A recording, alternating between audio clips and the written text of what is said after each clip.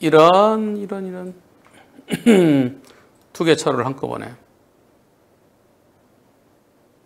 2차 브레이크 잡네요. 옆에 4차로에서부터 들어온 것 같아요.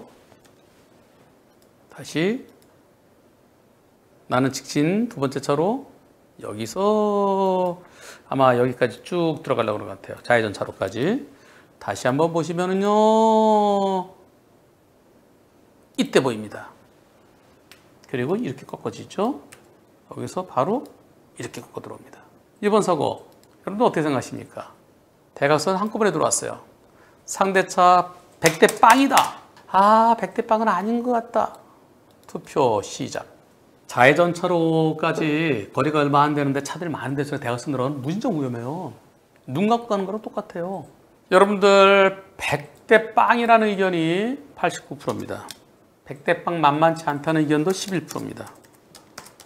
100대 빵이 아닌 블박차 때는 10% 정도? 이거는 판사에 따라서 100대 빵으로 볼 판사도 있고요. 100대 빵으로 보지 않을 판사도 있을 것 같습니다. 왜 그럴까요? 1차로는 좌회전 포켓 차로고요. 나머지는 직진 차로입니다. 갑니다. 근데 다 직진 차로예요. 직진, 직진, 직진. 차들이 밀려요. 어, 여기는 차들이 왜 밀려? 가다가 또 브레이크까지 잡아요. 왜 그래? 앞에 녹색 신호인데 그냥 가면 되는 거 아닌가? 음, 이때 조금 다른 차도 다른 차로 차들이 좀 안 가면은 어 왜 그러지? 생각했더라면 여기서 요 차가 브레이크 잡네. 내가 속도를 좀 줄여서 줄였더라면 뭐 있나? 그러면 이게 보일 수 있을 것 같아요. 뭐 있나? 만일 여기가 여기가 빨간불이고요.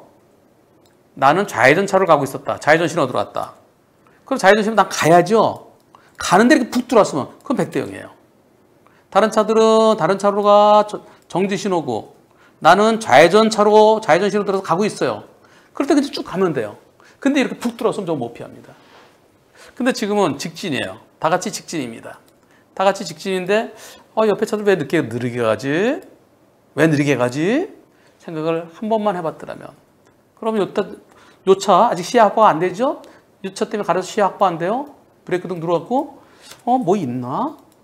그랬으면 이따 빵 하면서 미리 속도를 줄였으면 피할 수도 있지 않았을까? 그래서 판사에 따라서 과감하게 대각선 백대빵이야 할 수도 있고요. 아 옆에 차로들이 좀 천천히 갈 때 왜 그럴까 생각했더라면 하는 측면에서 90대 10의 가능성도 양쪽 다 있어 보입니다.